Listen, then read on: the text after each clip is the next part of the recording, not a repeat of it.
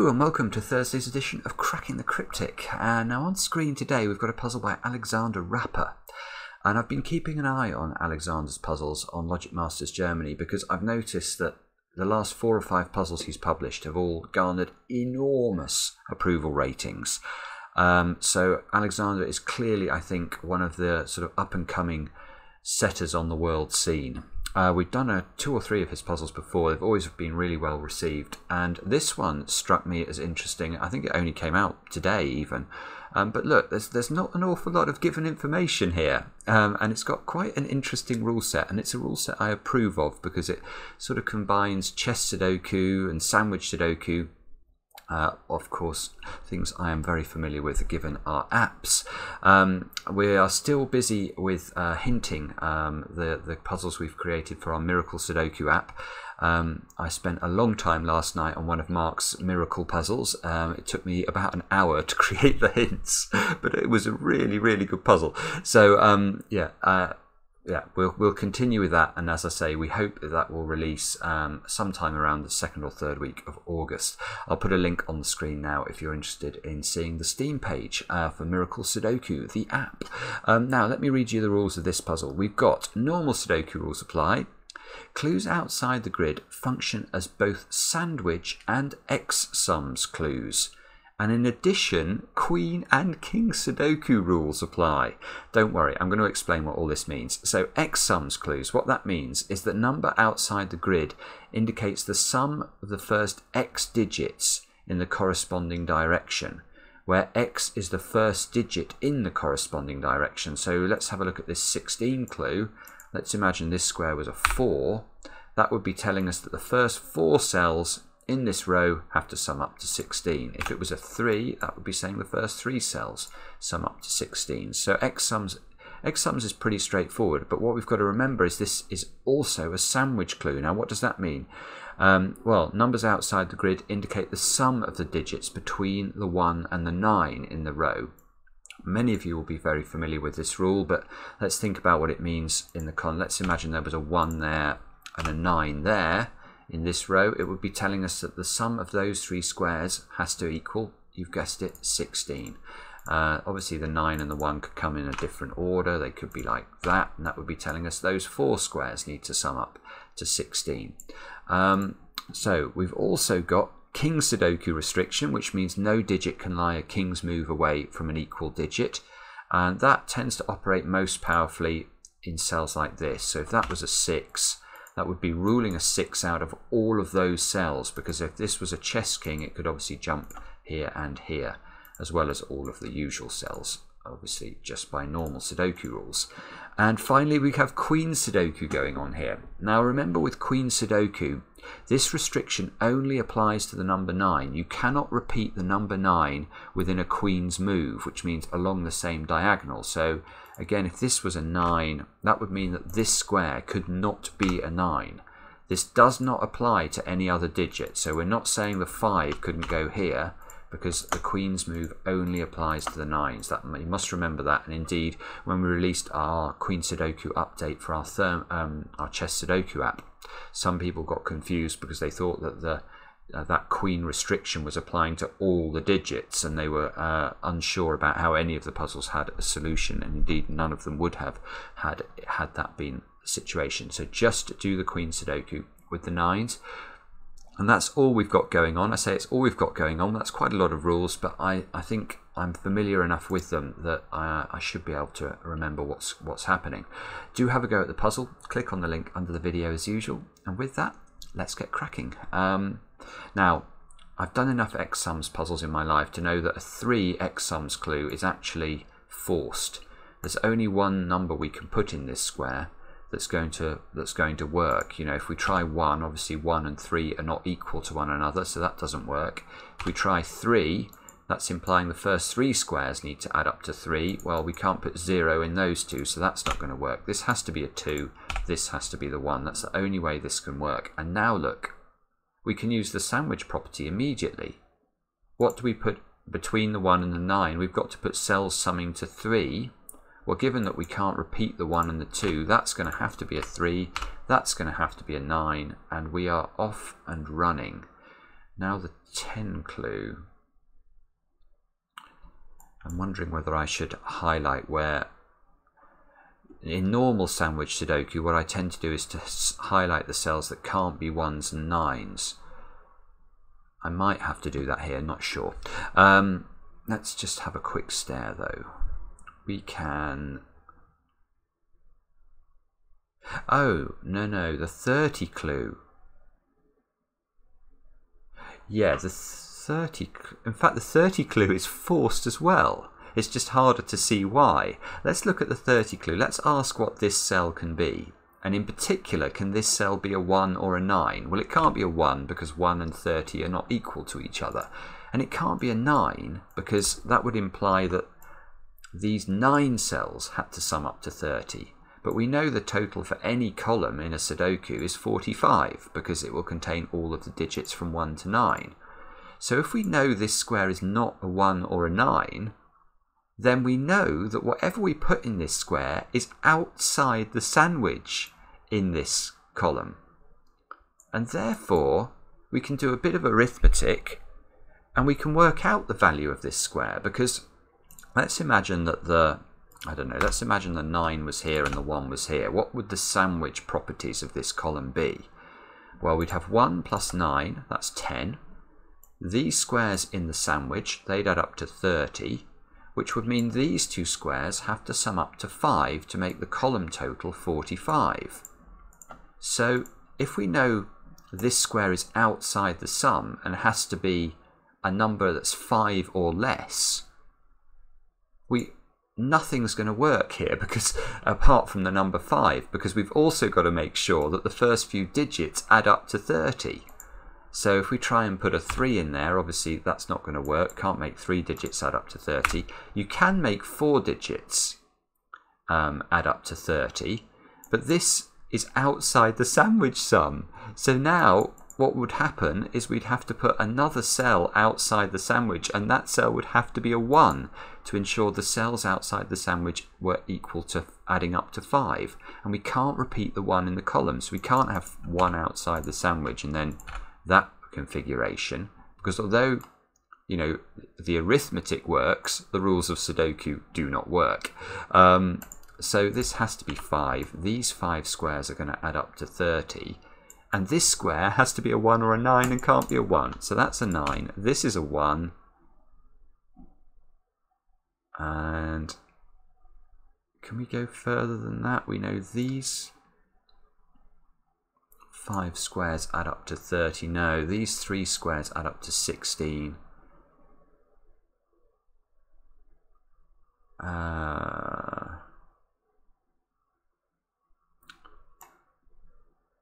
no, I'm not quite seeing how to do this, so I think we're going to have to look somewhere else. Where can we look? 16. So this clue, what can we put in this square therefore that's going to mean yeah.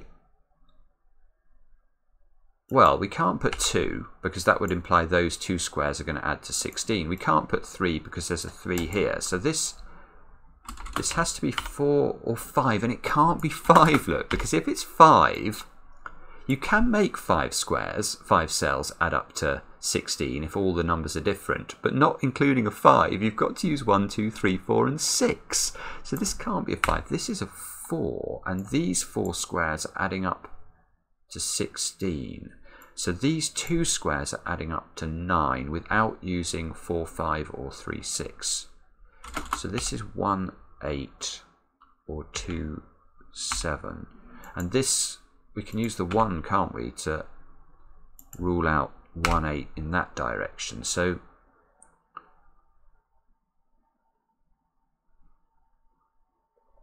Okay, so can we... I'm just wondering if we can go any further than this. I need to put 16 in the sandwich.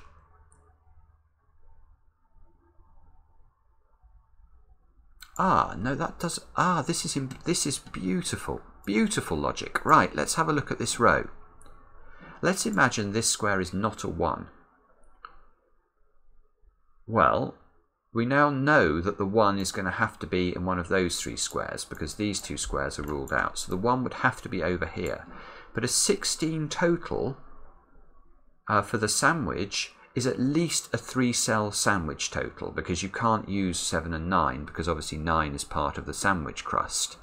So what that would mean is where are we going to put the 9 if we put the 1 in one of these cells? And in particular, there's nowhere we can put it because we can't put it here because of the Queen Sudoku rule. That would see a 9 there. So the furthest away from the 1 that we put in one of these three squares that we could put the 9 is here. And that gives a maximum two cell sandwich, which is not possible. This is the 1. Therefore, this is an 8.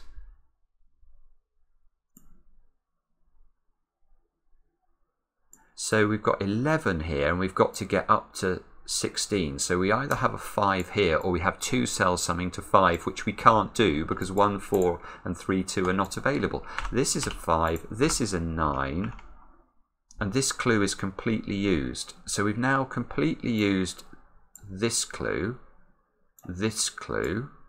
Oh no, we've not completely used this clue because I need those 5 cells to add up to 30. I've now got 22 here, so these have to add up to 8 without being um, 1, 7 or 3, 5. So they've got to be 2, 6. These have got to be 3, 4, 7. And now this clue is basically used up. So I've used this one, I've used this one, I've used this one. I've not used the 17 or the 10 really. So, and I've actually limited this, haven't I, to 2, 6 or 7 into those squares.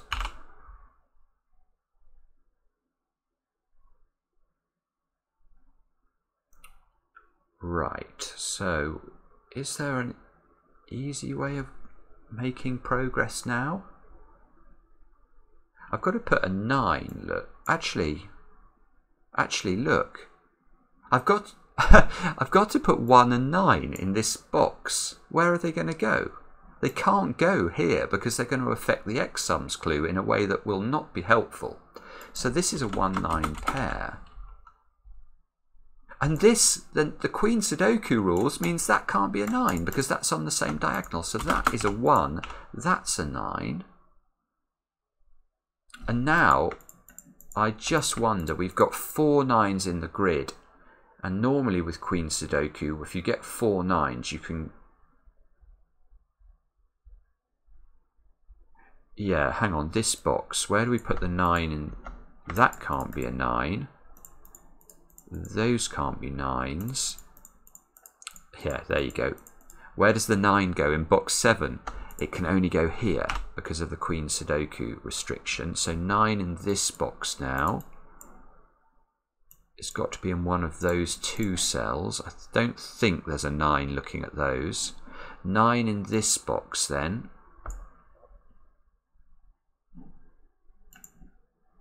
Again, I'm not sure if there's a 9. What about 9 here?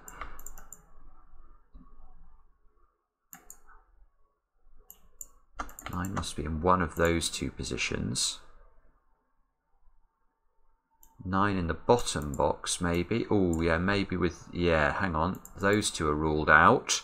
That one's ruled out by that 9. So these two 9s give us another 9 there. And that's great. That gives us a 9 here. So now we know where the 9... Are we, are we going to get... Well, we've got all the 9s. There you go. That is a common trick you'll find with Queen Sudoku. Once you get sort of three or four nines in the grid, do try and follow them through because you will find it's likely that you can place all of them. Um, now, what do we do next? So this square has to be one, two, three, or well, it can't be one. It's got to be two, three, or four because you can't make ten with more than four cells if you're using different digits.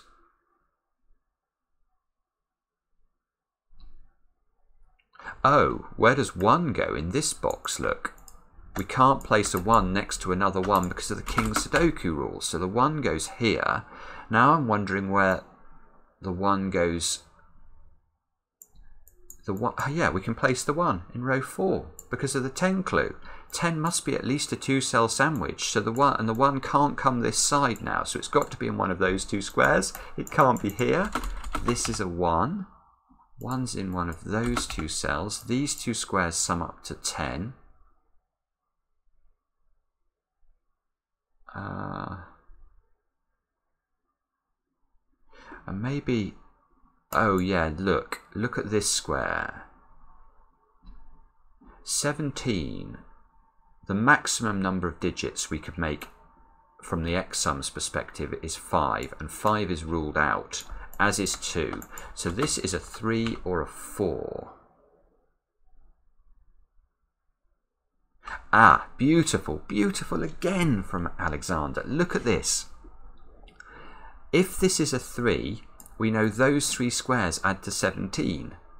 Well, let's do some arithmetic on this column then. 17 plus 1 plus 9, well, that's 27, plus the 17 in the sandwich is 44. So what do I have to put in that square? It would have to be a 1 again, and that would repeat the 1 in the column. So this has to be a 4. And these, square, these squares have to sum up Oh, well that's great, because now these two squares have got to sum up to 12. We can't use 6, because that will repeat the 6, so this has to be 7. This has to be 5. There's no 7 in these squares now. This can't be a 2, look. That's another little king Sudoku trick. If there's a 2 in one of those squares, we can't put a 2 here, because it would rule 2 out from both of those positions. Oh, it's beautiful again. It's beautiful again. Look, if this is a 3, we have to put a 6 here, and we can't because of the King Sudoku restriction. So that's a 4. Now this can't be a 2. We know these, is, these two squares are 2 and 3. Well, this one can't be 2 because of the 2, 6. So it's 3, 2. Now this is an 8 to make the sandwich total work. This, this puzzle is just, it's so beautifully set. It really is. Now that can't be 7. Um, so now I've used this clue. Ah, I've not. I can ah, I can do this column logic again, can't I? Because now I've got these three squares which add up to 16 plus 10 is 26 yeah plus 17 is 43 this is a 2 um okay so now this is a 2 by Sudoku that's just using these 2s So there must be a 2 in one of those two squares.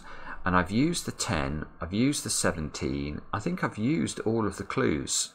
I've done the Queen Sudoku, so I think we're just on to normal Sudoku with a King's Move restriction. That, that feels like what we have to do now. Um, so those squares have got to be 3 and 8, and you can see we have a 3 there, so 3 and 8 can be placed. 3 can be placed here by Sudoku. 8, oh, 8 must be there by Sudoku. These squares are 4, 6 and 7. Can't see how to resolve that, but there may be a way. Let's look down this column, look. We still need to place 6 and 8 into those two positions.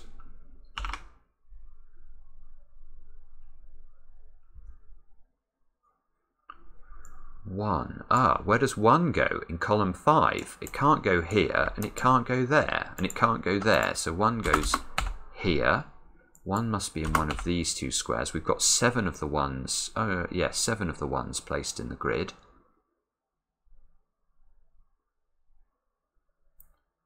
Um, oh, I nearly. I thought there was some logic with threes. Looking, this three is quite powerful on column six. It rules a three out of all of those positions, but actually, I think there are still two valid positions left. Um, right. Okay. So these two squares are three, four, and eight.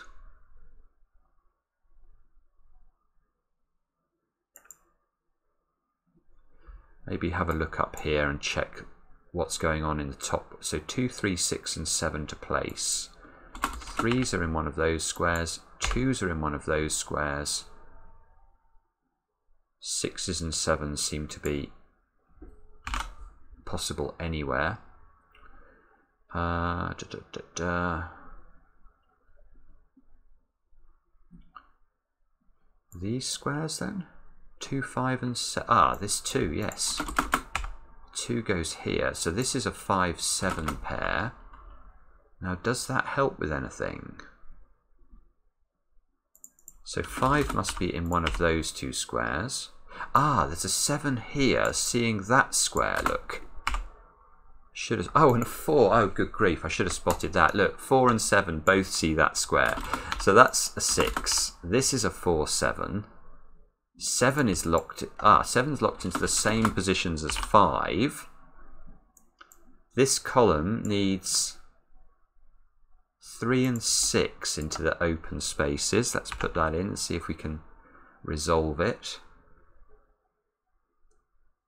Oh, we can. We can, because look, where can a 6 go in box 5? This 6 rules out that square, a 6 there would rule both 6s out from box 6. So this must be the 6. This is the 3. Um, the 6 fixes the 6 and the 8. That blocks an 8 up there. That gives us a 3-4 pair. Now that's nice because this square now can't be a 4 it would rule a 4 out of both of those by the king's move constraint. So that's a 7. That fixes the 7 and the 5 in the middle. Oh, it's just beautiful. Where does 7 go in this box now? 7 can't go there because of the king's move constraint. So 7 shifts all the way to the bottom of the grid. That can't be 7, obviously. This has got to be 3 or 4. And hopefully now we're on the home straight. I think we can place 3 and 4 in the central box. These two squares are 6 and 8. There's a 6 here, so we know, we know the order. 8's got to live in one of those two positions. These squares are 1, 4 and 5. That can't be 5. That can't be 1. 4 here hits that 3. Well, it forces that to be a 3. That, oh, that gives us the 1. The 1 gives us the 1 here.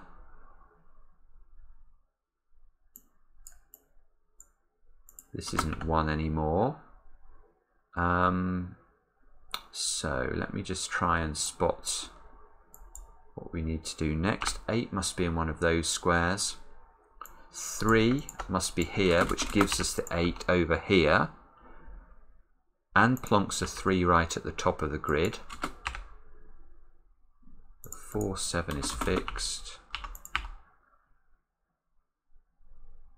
6 must go in the top of the grid, creating a 2, 7 pair here. 5, 7 pair here. 2, 6 pair here, which is resolved by this 6, of course. Yeah, so I think we are now about to finish the puzzle. It's probably famous last words, but I hope not. Um, 8 forces this to be an 8, gives us a 7, gives us a 7, gives us a 5. Where does 5 go in this box now? Down there.